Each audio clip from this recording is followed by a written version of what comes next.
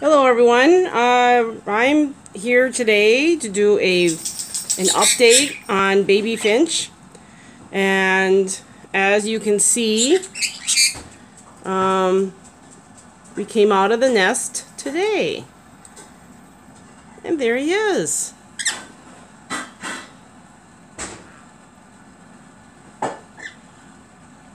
He's got very interesting, he, she, don't know, very interesting coloring. Uh, you got splotch of white above the nose. And some racing stripes by the beak. Very interesting. Why? What are you? What's that bright light staring at me? Shining on me. Anyway, so there he is. He's been crying a lot, which means he's always hungry. Let's see, parents are up there watching. All three of them. Let's be watching the youngster. So, as far as the future goes, I haven't decided yet. Um, if I keep him, him, her in there, um, eventually I'll have inbreeding issues. So I have some decisions to make. And at this point, I don't know what that is. I'm right now. I'm just coming up with ideas.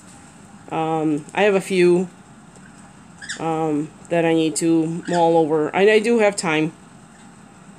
Um, they they aren't ready to breed themselves for, I guess, several months. So, um, being that this one's only a month or two old, um, I think I've got time. So, anyway, so just wanted to give you guys uh, an update, and I guess we don't.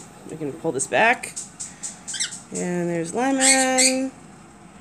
And there's Milo. There's RC. And if I go like this,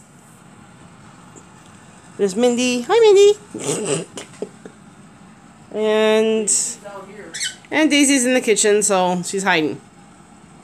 So, oh, there's RC. Hi, RC. And oh, there's Milo. So, okay. Uh, until next time. Bye.